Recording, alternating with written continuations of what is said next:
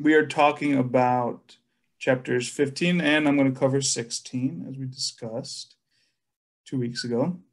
Uh, chapter 15 is on S4 and then chapter 16 is going to cover the trade-offs. So comparing S4 to S3 and then S3 to uh, R6. All right, so we're going to introduce S4, um, high level, go over it. We're going to talk about classes, generics, and methods um, in general and then specific to S4 because the implementation um, is different. They have a lot of uh, functions for controlling the things that you would just do willy-nilly in S3.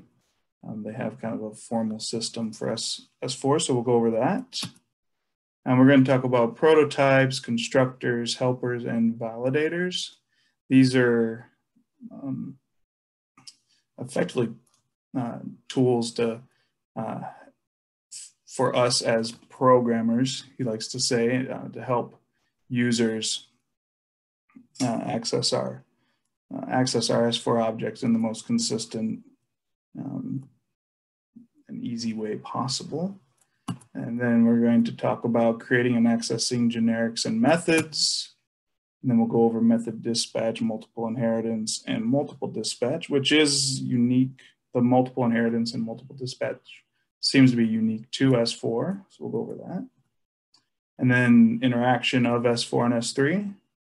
There's like this S3 is like the old system and S4 is the new system, even though um, S3's had a little more staying power than I suspect um, Chambers and other developers had anticipated. But initially, I think there was this idea of it's a upgrade or it's an evolution in, in object-oriented programming for R. And then we'll throw in trade-offs. So it's a whole chapter. I'm going to throw it in at the end uh, just to go over high level what the benefits are, um, why we choose S3 versus S4 versus R6. Okay, so S4. So why S4, right? Um, I mean, overall, object-oriented programming's trying to solve, well, one of the problems it solves is like this uh, overpopulation of functions, right? Like you could have, um, for a user, you could have to access a growing number of functions to process different classes. And it would just be, it just gets very cumbersome at a certain point. So one solution that object-oriented program, programming provides is um, overloading functions, giving them multiple methods behind the scenes. They can pass the fun they can pass an object of, of any class to a function and it will take care of the complexity and look up the method and and and uh, give them the take the action that they're expecting. All right, so uh, it's very similar to S3 in that in that regard. It's solving that that problem. Um, now, so if S3 and S4 are solving the same problem, then why S4 in, in the first place? And it seems like what they did with S4 is they they work to formalize like how like you can create a class with S3. You can't really create a class I don't think, right? So like it's this, it goes to a hidden, uh, hidden object, but it's there. There's not an instance of it anywhere. Um, but you can actually define this class that can, that you can then um, create objects of. So that's formal. Um, and then like the, the way you create the, the objects, you define the, the attributes a little more um, precisely, and you have to be a little more thoughtful about um, uh, what's going to inherit what and where uh, the, the method's going to fall and, and the method call and all these considerations. So it's, it's definitely more formal and rigorous. Uh, so another cool thing about S4 is that it's written by John Chambers himself, um, which could be a good thing. I happen to, I don't know John Chambers, but he seems like a respectable guy and it's used extensively by the uh, Bioconductor project. Um, and Hadley mentions that you may want to contribute to that someday. It's it's large. It's prominent in the community. So that's uh, another reason to use S4 or to learn it a little bit. And it's independent from S3. So they are separate systems. So it's uh, it's not redundant. You can learn it and you can go off and, and do things fresh and exciting all on its own. Oh, and then it also has this uh, idea of multiple inheritance. So you can um, build a base class and then build a class that inherits attributes from that class and you add additional attributes. So you got like your, so you just basically build up in terms of complexity from a, a basic class to more um, advanced classes. So it's a good way of managing complexity. Um, and then it has a cool feature. So they, instead of having like uh, just attributes, it takes those, that, those attributes and it, um, you think of them as slots, you treat them as slots. So it's, uh, and you can subset and access those slots with uh, the at symbol. And all the implementations in the methods package. So it's a one-stop shop to uh, accessing the, the builders and the helpers and all that stuff. Okay, so that is the introduction. Now we're going to go over uh, classes, generics, and methods for S4 in specific and then a little bit in general as well. So for S4, how do you actually create a class? Like this isn't something um, like you just define like class as an attribute and you define it for S3. I mean, I'm not an expert on S3 by any means, but that's what I recall. So for uh, S4 though, you have a function. So there's a specific function, set class, you name it, you give the class a name, and then slots are uh, you, it's basically a list of uh, name value pairs, and and you are those are going to be attributes of your of your of your um, of your class. Contains we'll we'll go over this a bit more in detail. Obviously, the chapter goes over it, but uh, contains is where you would give it that that uh, lineage. you'd let it inherit inherit. Or I can't even talk but it would inherit attributes from another class. So this is where you could define additional classes or additional attributes, and this is where you can inherit some. So it just saves you from copying and pasting, um, as well as building up that those layers of complexity. Then prototype, where you can define default values for um, the, the data that goes in the slots and all the examples that I've that I've seen from Hadley, you're you're supplying it with NA um, NA values, but you could also give it default values, and that's the alternative would just be blank um, values. So it's it's preferable in that sense. All right, so how do you create a generic for the class? So the class tells us what kind of object it is, gives us some attributes about that object. The generic is that um, function that we're going to overload with um, with methods. So it doesn't actually have any um, specific action that it takes except for calling um, that method search or dispatch. So how do we create that? There's a function for that. So we've got the general syntax is set generic, which is in the methods package. You would give it the name you assign your class. So this my class would go in there and then you can define a function. Well, so so you, you give it a definition, which is, um, I've, I have the exact thing, but it's just another function. And we'll see that a little bit later. I forget what it's called. Uh, how do you create a method? So, right, so the method then is what the, um, the function that will be applied to the type of class it looks up. Um, so how do you define that? Well, there's a surprise, surprise, there's a function for that. So set method, you take the uh, generic, um, there's a signature argument and there's a definition argument. So the definition, you can put in a, uh, you can write out a function that'll, that'll be the, the method that's applied. Uh, signature, I forget, I was looking at this earlier, but I forget what signature is, it'll come back to me. If anyone remembers, they can jump in, but I don't remember. All right, so next section is going to be about prototypes, constructors, helpers, and validators. So you got the, the three main um, features of S4, just like S3. It's um, looking at those. It's it's defining your class, deciding what kind of data is going to is going to fall in those uh, those slots, uh, creating some generics if you need to. Um, that will handle methods for a lot of different classes that you're building in S4, and then setting up those methods. What exactly is the um, the function that, that the process, right? The so if you're doing the mean, I think one of the examples is you got mean dot data frame. So these methods are specific to object types, and there's a different recipe based on the class. All right, so those are the three main ones. Define the, the class with its attributes, which would go in the slots for S4. Uh, define the generic function that's going to be a catch-all for a bunch of different methods. Um, and then define the specific method for the class, which will get looked up by the um, by the generic. So within uh, now with, for dealing with for making those that functionality accessible to the end user, we have um, prototypes, constructors, helpers, and validators.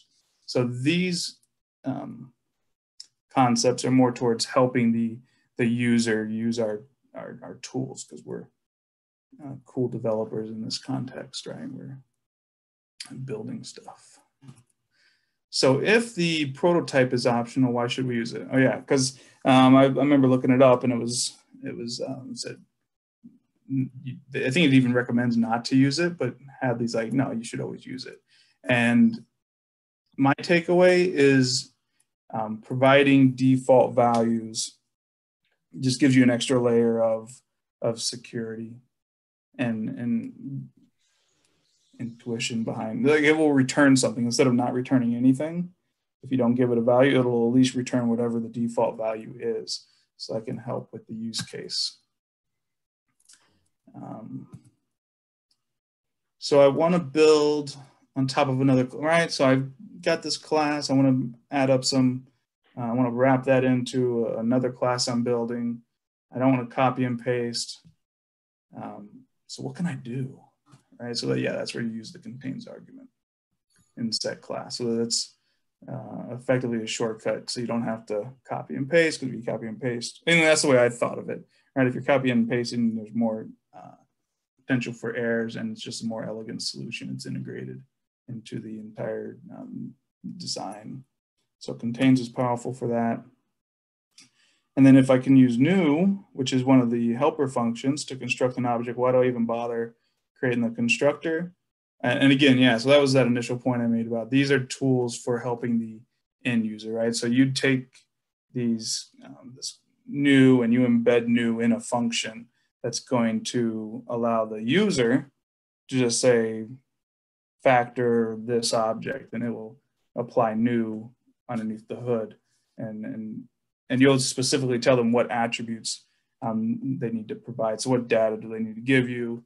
And then you assign that data to the slots and you can create the, um, the object behind the, the scene. So it just makes it a, a lot more uh, user-friendly. Yeah, so we want to help people, right? And uh, these constructors are polite yeah, it's really uh, so it's about thinking of, of, the work we we do as a service for others, which is interesting. I'm a, an analyst. I just do this stuff on my own, um, so it's helpful to get this perspective of building tools for for others. All right, so we're going to continue with this topic. Oh yeah, so we don't we, we're building these. Um, we're, we've built a helper to create an object of a class we've, we've designed, but we, we want to make sure that the user doesn't break it. All right, so this is where um, validation comes in, and we can apply uh, this function set validity, and you tell it the, the class, and then you tell it the method. And the method's going to be a function that um, applies different conditions to check if the slot data matches the types you, you expect. So that's the idea there. Like you're going to define this once, you're going to point it at the class that you want to validate the slot data for the integrity of the slot data, and then you define that in your in your um, in the in the in the function, and that will then check every time that they go to construct a new object of that class. It's going to run this um, validity check behind the scenes, and they'll get and you can put in helpful helpful error messages and, and everything. So the one loophole is that this um, only applies at um, construction, not on modification. Uh, so what's the option if, if you're looking to uh, prevent them from breaking an object um, when they modify one of the slots um, themselves with one of the accessors you've built them? right? So um, you do the, you apply the same logic, like the same idea of wrapping uh, new in a, in a helper, you're gonna wrap the accessors in a, in a function that will have that, those logical checks in it. So you'll do the validation in a function that's giving them access to the slots. Right, so it's, uh, it's a very creative uh, approach to these things. I, I, like I like it a lot. Um, okay, so any questions so far? It's all pretty straightforward. Uh, so now we're going to talk about creating and accessing generics and methods. So we've we've hit on um, creating a class, creating a generic, and creating methods. We've talked about ways of um, designing uh, constructors and helpers, uh, helpers as constructors and as accessors that can validate the inputs and make sure that the, the user uh, can, can build objects consistently and reliably. So now we're going to talk about more specifically this, uh, this process of creating and accessing generics and methods. Okay, so what was the point of a generic again? Again, it's like that um, that function we're going to overload. We're going to, it's going to be the catch-all. Um, if you got a person object and a, uh, let's say I had an analogy here. So if you have Erick, which is me, and you had a cardinal, um, we both want to fly, but the method for flying is going to be different, right? So um, we still want to use fly though, because fly is a pretty general, easy to understand um, verb. But for Erick, he's going to go on a plane. For Cardinal, he's going to flap his wings and, and, fly. So they have different methods. So the point of the generic is to, to let us use a intuitive um, verb for our functions without having the user have to look uh, for different instances of that of that verb based on whatever object they're they're wanting to process. Yeah, so it's it's decomposes functions into generics and methods to solve that general problem. And what was the S4 syntax for creating one? We did go over this, but here's a little more uh, specific example. So it's set generic, the name of um, the function, what you're going to call it, and then the definition. Um, and here is, yeah, so I was trying to remember this is that standard generic. And this is another function that comes with the uh, methods package. Um, so this is how we create our own generics. Set generic, and it's, it's all, that's the one good thing about S4 is it's all in the methods package. So you can always just double colon and, and fine. It's all, I mean, such generic. It's pretty um, intuitive. Um, so we're going to continue on this subject. So what was the point of the method? So the, the methods, uh, the recipe, how we do something. Um, yeah, so the programmer still has to write functions for every class, but the user has a, a standardized interface. And then what's the syntax for creating a method? It's uh, set method, and then you're pointing at the, uh, the generic, giving it the class, and then giving it the, the function for that class, given that, uh, that generic. It's all pretty straightforward, but you can see how this is um, really refined and structured. Like there's a literally functions for for all these things, and you can build the you can build this these. I mean, actually, I think in um, the S3 package had the talks about building helper functions and all and and and best practices in there, so you can replicate a lot of this systematic um, fluidity and control into S3, but in S4, it's like they had that in mind as a um, as an improvement and they just built it in. Okay, so we've talked about how generics look up uh, methods based on the class of the object. Well, how does that work? And we've talked about uh, contains as a way that uh, these S4 objects can inherit um, or uh, slots, at, which are attributes from other classes. So how does that come in? I mean, is it looking at multiple classes? And then um, what is multiple dispatch? So we've overloaded our generic functions with a bunch of class specific methods. Now, what, what do we do? Right, so that's the setup here. Um, it's gonna look for the, it's like a lookup. I kind of think of it like a lookup product, like VLOOKUP from Excel or something like hey, I've got this class of this object that the user passed to me. Now I'm gonna go look up a method and I'm gonna apply that method to this, to this object. So what if we build classes on top of each other, right? So we've, yeah, so that's like evolution.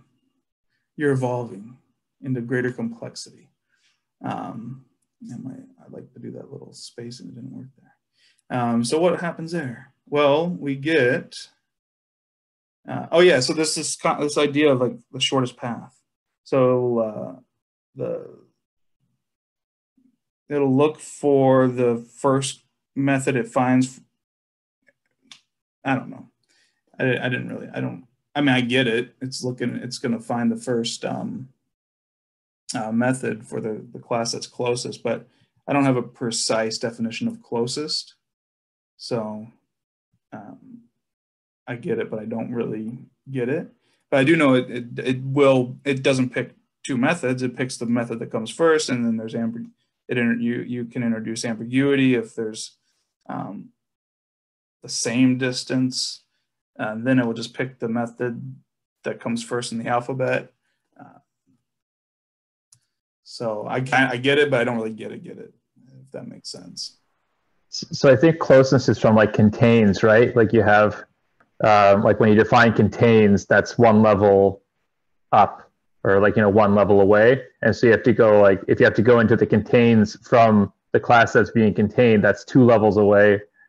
Right. And so that's, I think that's how it measures it. So oh. the, gra- the graphics are nice, but I think that's kind of how you get there, right? Is it's like, oh, this is contained in that, or this can, sorry, this class, uh, it like inherits from this other class, right? Thus, I mean, there might be other ways to set the links, but that's at least from what we've seen here how you do it. So if I inherit from my dad, that's closer than inheriting from my granddad or something. So it's going to stop at dad first. Yeah, it might be like the example they had, which was like people first and then employees. And then what if we made like, um, like clerks or something like, you know, a subset of employees. And so then like if we did made the person and then we made employees, which contains person, and then we made clerks, which contains employees. If I try and look up age for clerks, it might not, if there's no age attribute there, it'll go look at employees. And if there's no age, you know, or sorry, function there, it will, that, or generic, it'll look at person, right? Okay. But it might have like, maybe there's something like, um, you know, um,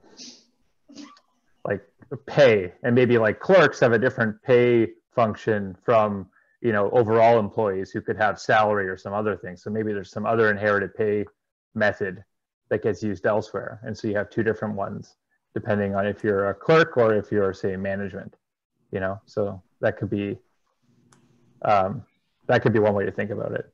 At least that's roughly how I thought about it when I was reading it. Nice. Thank you, Josh. Yeah, thanks. I I was I wonder what happens if like is it ever the case where like you have you're going up that hierarchy and you have like one version of the method that like is like a default and then like higher up is like the one that's specific to that class that you've passed? Like would it like know that there's like a better option somewhere else? You know what i mean? Like somewhere up further up that's like exactly that class for that method? You know yeah, so it starts as close. Like if you're in that class, let's say clerk, and you, there was a method for clerk, it would start with that version.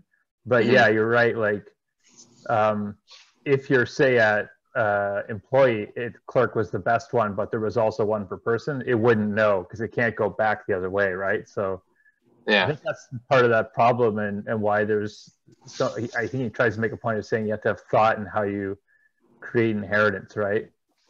Um, because like what can, you create first and yeah. or what yeah. you define as uh, above or below something. Yeah i can imagine um, like creating the structure for these. I'm sure bioconductor like they have to have diagrams to explain like oh this goes to this and you mm-hmm. know all that sort of stuff where um, it gets very complicated. Uh, it's just the same sort of thing when we were complicated with dispatch in s3 though so i feel like it's the same sort of voodoo yeah. I mean, I feel like it's probably the normal case that like if you create, let's say, uh, like the highest parent class with some kind of method, as you create subclasses, you're defining the method for that subclass in that level that you've created it in, right? Like, yeah. So like it should usually, I would imagine it should usually like be right there, but maybe that's not always the case. Yeah, and I wonder if, if in development you like you make all these sub ones, you know, and you're like, oh, but then you realize that like a more generic version may be appropriate for three or four of them. So you change the hierarchy of things and and structures oh, to allow for methods to um, sit at a higher, you know, at a, at a yeah super class. Yeah. Cool. Yeah. So the super class was super class the one you inherit from, or is it?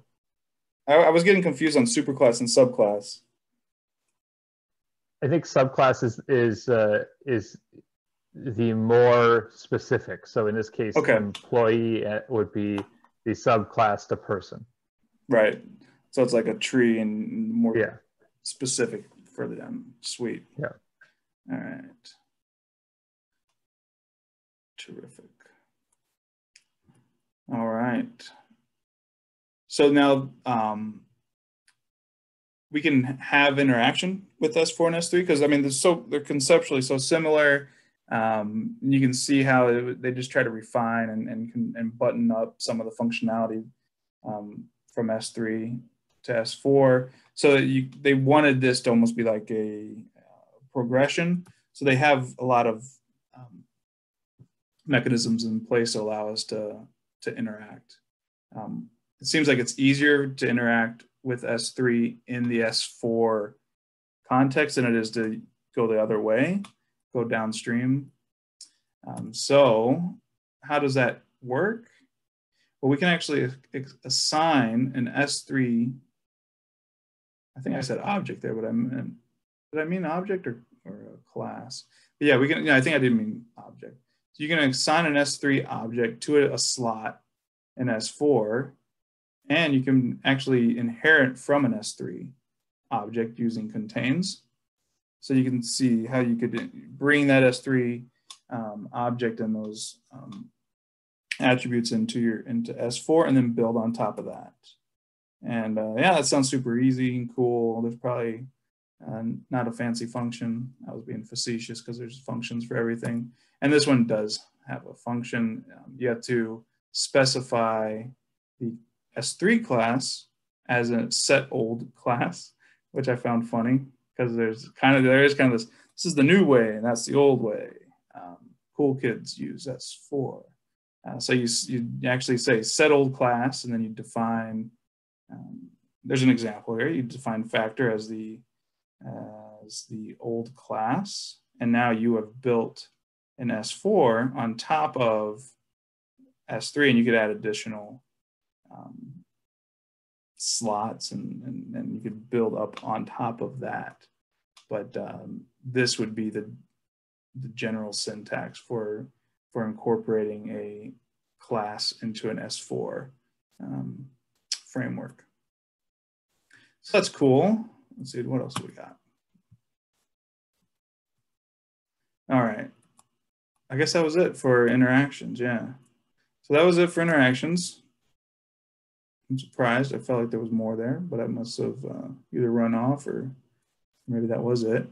Uh, and and then one of the points though for interact, yeah. So you can you can even interact with um, you can bring in uh, generics and you can bring in um, well, you bring in generic. I don't know. I'm not going to say anything else about that because that's it. That's it for interaction. No more interaction. Okay, so what are the trade-offs? So we've we've gone over uh, S3, which is the Wild Wild West, the first object-oriented system.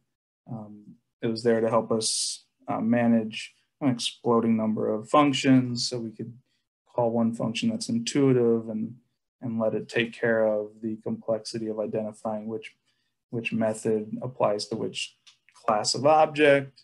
And then we buttoned it down a little bit, gave it a tie, polished it off, and, and came out with S4. And then we have R6, which is more of the traditional object-oriented programming. They call it encapsulated. It's apparently the paradigm that you find in, in other programming languages like Python. they mentioned Java. So what are the trade-offs? When would we want to use one or the other? Hadley has some suggestions. He says to prioritize S3 um, because it's widely in use. It's uh, more accessible. It's less strict in, in its uses. So it's um, just easier to use. You don't have to find all these functions to, to call everything and then remember the arguments and, and all that. So he recommends S3. Um, R6 is super cool. That's what they're building like Shiny's um, built in R6 and uh, what I've learned reading this reading this book is that he uses a bit of of R6 solutions for some of his packages. He uses some S3, some S4. So um, R6 is is definitely involved in in the tidyverse ecosystem.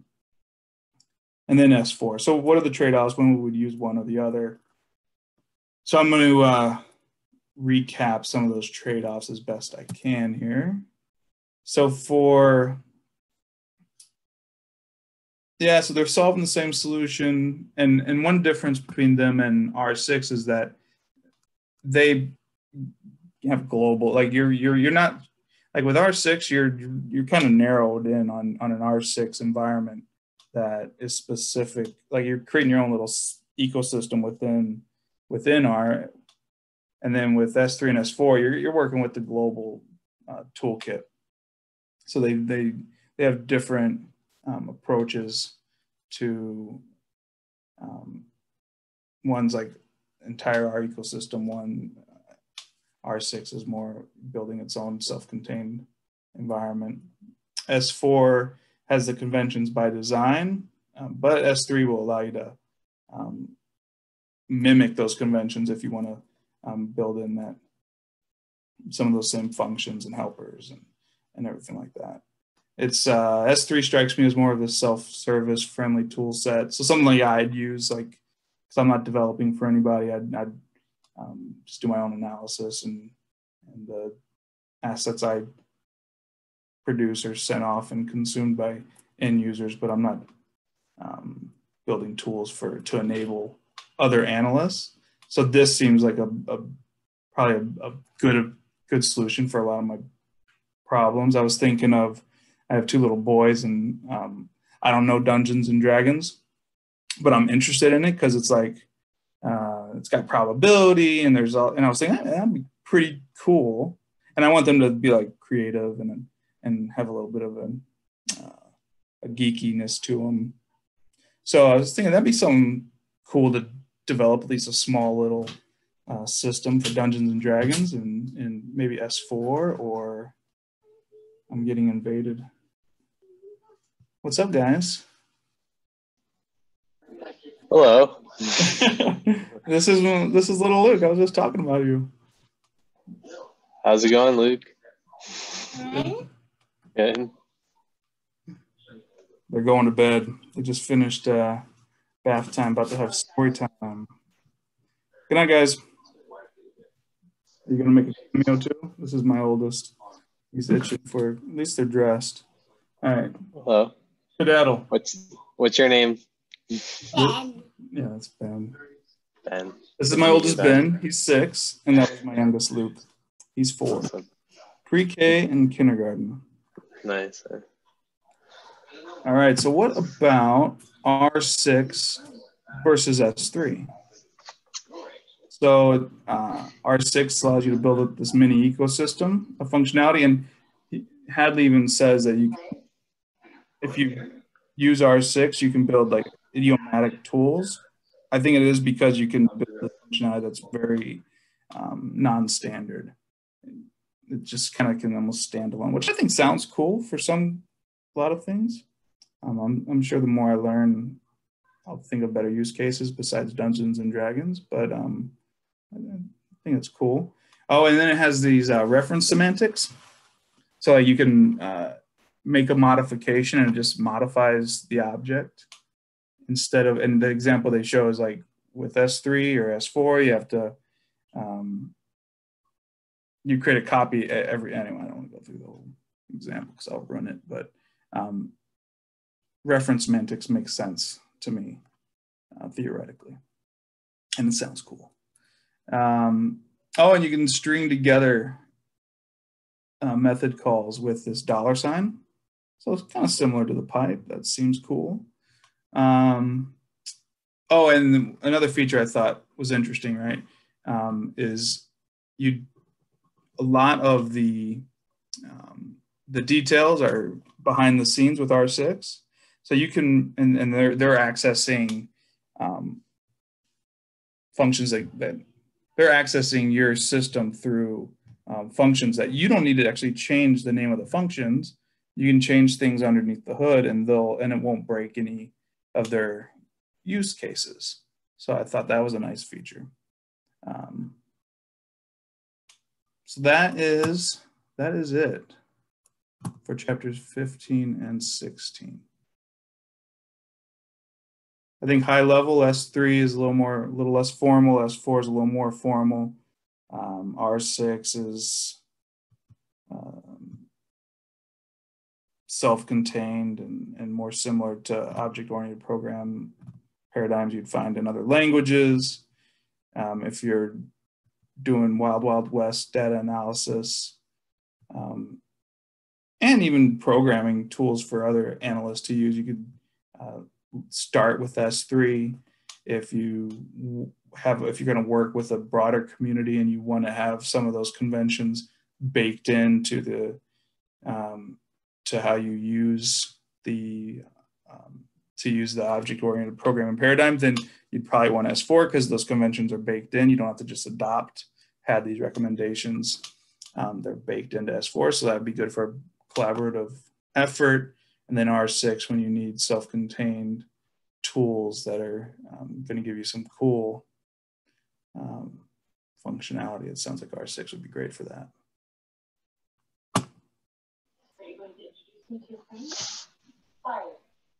Cool. Thank, thanks, Erick. You're welcome. Um, can I just make? I just want a general comment. Yeah, this is an awesome job. Um, about uh, the um, about these three chapters. Like, I feel like before these, I'm thinking about classes. I just thought there was some scary, like, amorphous, like, like uh, hard to understand thing. And then when I read the S3 chapter, I was like, wait, it's just a a list with certain elements that then that where you and then uh, like a then that object just gets handled in a different way for different methods. You know, like I just like it seems so uh, so much like I don't know, especially S3 just seems so minimal. Like uh it's just surprising to me that like that's a that's like a class, you know, like it like whenever I read read like Python code or whatever where they're making classes, like it's all this like stuff where I'm looking, you know, it's like like um, you know, there's like an init method and like all this stuff to it. It's like really heavy looking and like kind of like not easy to like follow sometimes. Um, I don't know. It just yeah, it, it's just that was it's just like that's I don't know the main impression I have after even with all these like all the chapters really except for I guess I guess S three and S four I feel that way. Um, it just seems very like I know S S four is like more formal, but it just like it takes so little code to like do it, you know, to like create something. I yeah, I agree with you. Like it used like it seems more approachable now, at least like less scary to experiment with it and yeah, you can see it gets complex and, and wild looking, but it feels much yeah. more approachable now. Yeah, and to be honest, like R6 just seems kind of like I don't know. I feel like the code is like kind of ugly, but like just like the dollar sign. I don't know. Like I don't. Uh, it, I feel like S3 and S4 are like much easier to like read and follow, and um, just my opinion, I guess. But um, is Jake here? He had to leave. Oh, he did. He dropped like a few minutes ago. He's yeah. heavy developing. Yeah, I wonder, like, like at what point, like, I feel like there's a continuum of like development, like where you you're like writing code for particular purpose and you have like a script and then you're doing a bunch of things over and over again and you create functions so you don't have to like repeat that code.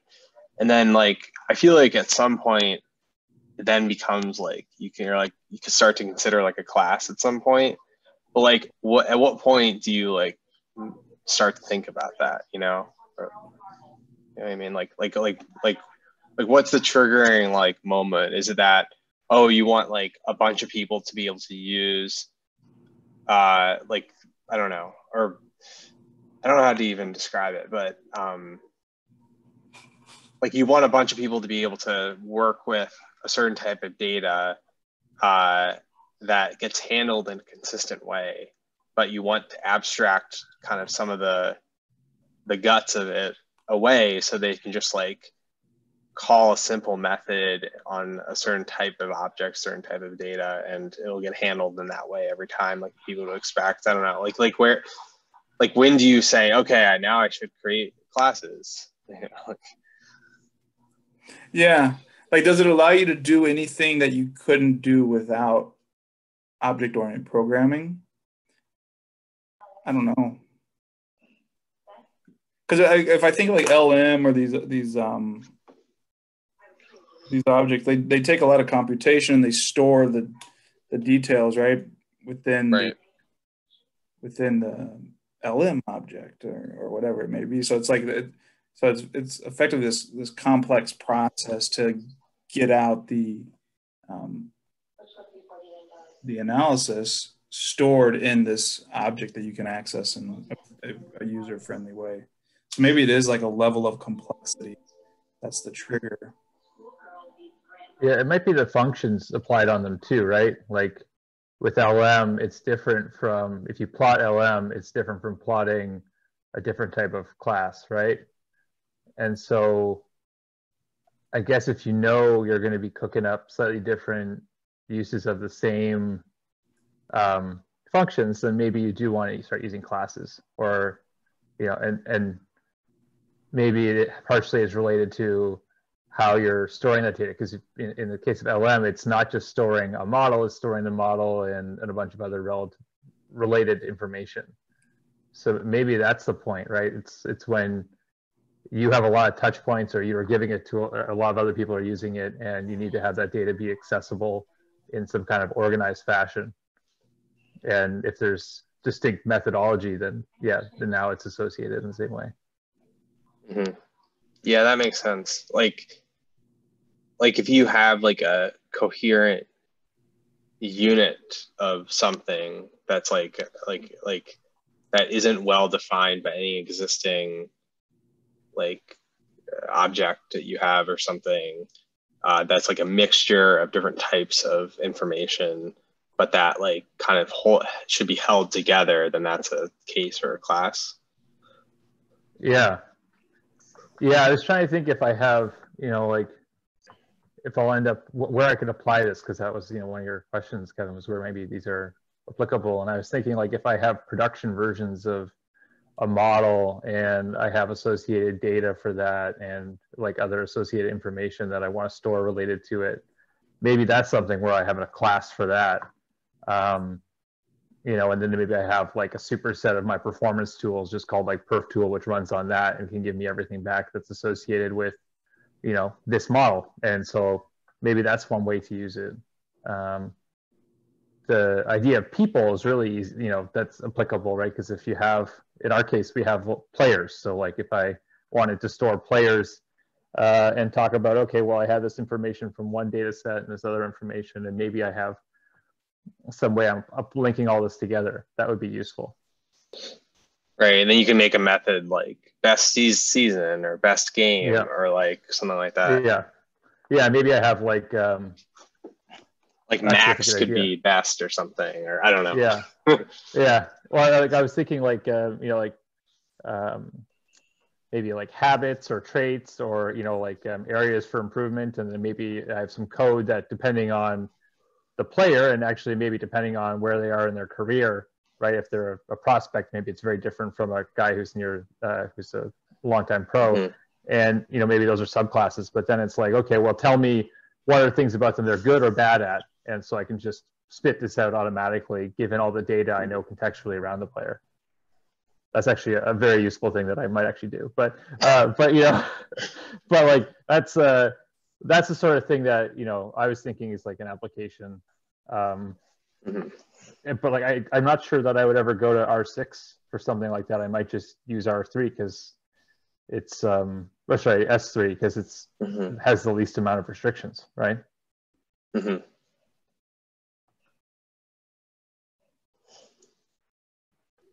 Yeah, it's fun to talk through, through these examples. Um, yeah, the one the one that I was thinking about, I was trying to think about stuff for work and work with uh, like log files a lot um, with like a pretty consistent like format.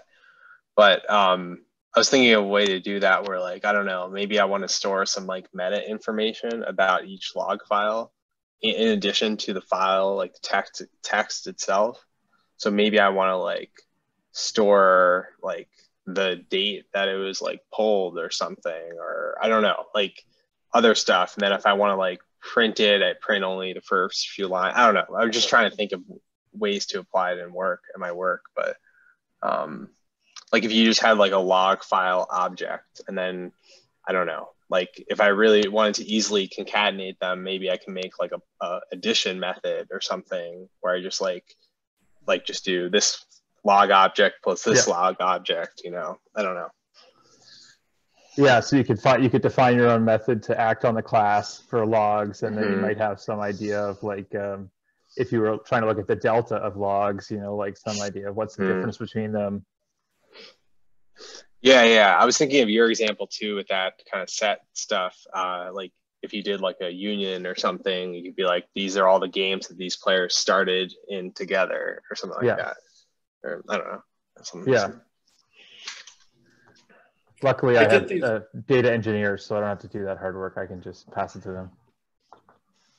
We get these. Um, I was thinking of a use case for uh, for me. It's uh, we get these surveys, and so with surveys, we'll do like you can. It's typically one question, thankfully, um, but we have multi-select, we have free-form text, we have single select, and sometimes they're passing back a like an index number that I you have to look for a lookup table to get in the actual value that they pass through. But it's always JSON. So like it'd be great to have a a class of multi-select, a class of single select, a class of free form, and then have it and then just say create whatever because I do a I create a visual and then I or I'll put out just the raw um, text responses or I'll do a sentiment analysis or and then just have a function that that processes it based on the class. Mm. Yeah, that's really cool. So I so going off of your example, like if you created a class for each of those types of questions, like and you put it in a data frame, let's say, like as long as you defined a class, will that be can you make it like a data frame column that your like user defined class? You know what I mean? Um like I haven't it's interesting because like a lot of these examples are just kind of like on their own. Like I haven't seen it integrated with like, you know, like a mixed type like data frame or something, you know. Well, really, I guess I would be. I would want it would be a data frame, but I'd want the um the process. Yeah, so I just wanted to call a different function, different uh, function for the um, multi select because the multi select I actually have to um, spread to rows because it's mm. all row and I have to spread it to the rows, and then I uh, I still did the group by mm. and, and I still create a very similar graph, but because it and, and I have to clean up like there's some um, cleanup that I have to do for the multi-select output that I don't have to do for mm. select um, because I have a um, a uh, a view up in SQL that um, takes in all these surveys and, and has like a default processing, but it totally misses out on processing the multi-selects correctly. Um, so then I have to do that um, separately because mm-hmm. I don't know how to do like you can use like JSON table. There's a SQL function called mm-hmm. table, and it will unpack JSON stuff. But it, it, I haven't been able to get it to to work with everything in in SQL itself. So I'd have to mm-hmm. useful to just be able to tell um, the, to be able to give it a class multi-select and have the function just look up the uh, have the generic look up the right processing. Right, like a like a decode or an encode or something like that. Yeah, if you're given. I'm actually going to write that down. Like decode. Someone was talking about that on Twitter today, and like our our Twitter or something. Like they were like, it was like translating some kind of code, and they were asking like, should I call it like decode or translate or something? But that's a, that's where I, where I thought of it from. But um, but yeah, but with your example though, like if you did have it in a data frame and you like didn't unnest, but it was like your class, then maybe if you like summarized and like you did like sum or something, like it would know what to do with that class. You know, if it was like, like it would like, uh, I don't know, maybe like I did. This is just totally making it up, but maybe you wanted to like average all of the choices or something like that in the multi-select and then add it, or I, I don't know, like like you could define like a summarized method or something something for that class. Um, or maybe it automatically like because the class construct constructor needs like a lookup table or something it automatically like can find the free, most frequent answer without actually doing that translation. I don't know. It's fun to think about though. Yeah yeah yeah.